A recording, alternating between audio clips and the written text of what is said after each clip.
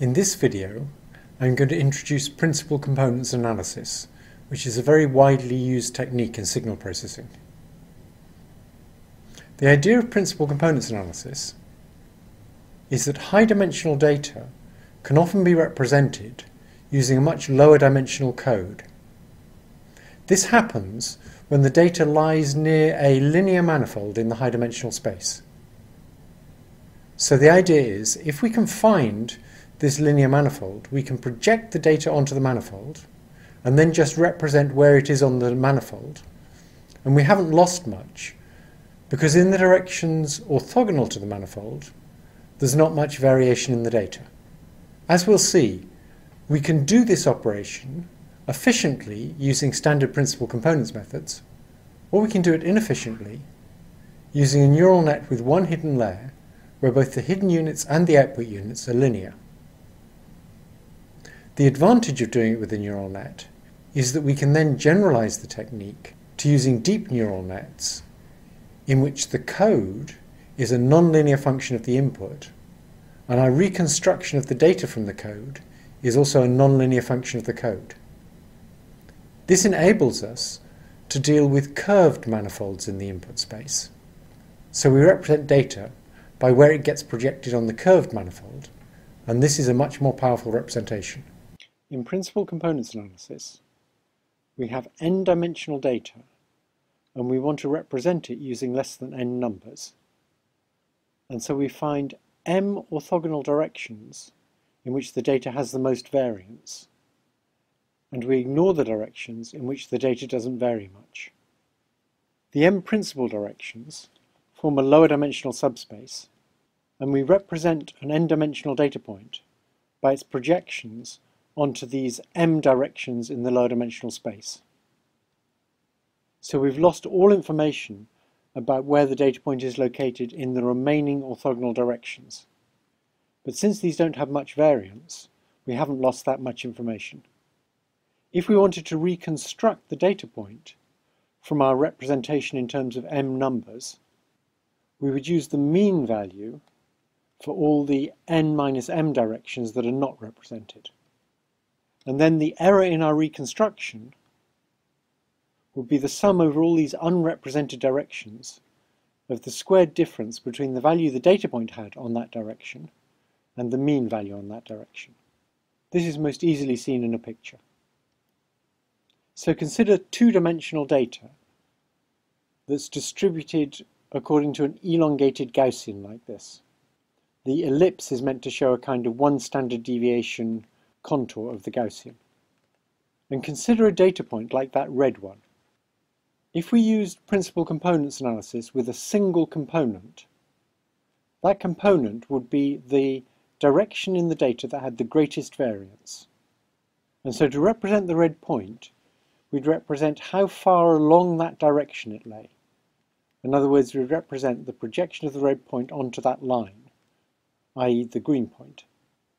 When we need to reconstruct the red point, what we'll do is simply use the mean value of all the data points in the direction that we've ignored. In other words, we'll represent a point on that black line.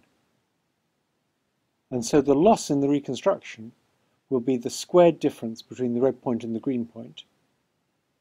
That is, we'll have lost the difference between the data point and the mean value of all the data in the direction we're not representing, which is the direction of least variance. And so we'll obviously have minimized our loss if we choose to ignore the direction of least variance. Now we can actually implement PCA, or a version of it, using backpropagation, but it's not very efficient. So what we do is we make a network in which the output of the network is the reconstruction of the data, and we try and minimize the squared error in the reconstruction. The network has a central bottleneck that only has m hidden units, and those are going to correspond to the principal components, or something like them. So it looks like this.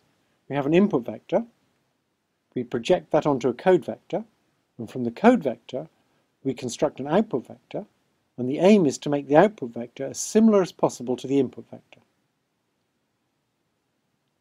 The activities of the hidden units in the code vector form a bottleneck, so the code vector is a compressed representation of the input vector. If the hidden units and the output units are linear, then an autoencoder like this will learn codes that minimize the squared reconstruction error, and that's exactly what principal components analysis does. It will get exactly the same reconstruction error as principal components analysis does, but it won't necessarily have hidden units that correspond exactly to the principal components.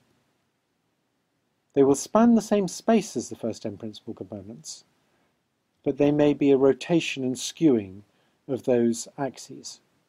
So the incoming weight vectors of the code units, which what represent the directions of the components, may not be orthogonal, and unlike principal components analysis, they will typically have equal variances. But the space spanned by the incoming weight vectors of those code units will be exactly the same as the space spanned by the m principal components. So in that sense, this network will do an equivalent thing to principal components. It's just if we use stochastic gradient descent learning for this network, it will typically be much less efficient than the algorithm used for principal components.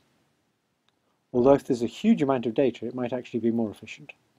The main point of implementing principal components analysis using backpropagation in a neural net is that it allows us to generalize principal components analysis. If we use a neural net that has nonlinear layers before and after the code layer, it should be possible to represent data that lies on a curved manifold rather than a linear manifold in a high-dimensional space. And this is much more general. So our network would look something like this. There'd be an input vector and then one or more layers of nonlinear hidden units. Typically we'll use logistic units. Then there'll be a code layer, which might be linear units. And then following the code layer, there'll be one or more layers of nonlinear hidden units. And then there'll be an output vector, which we train to be as similar as possible to the input vector.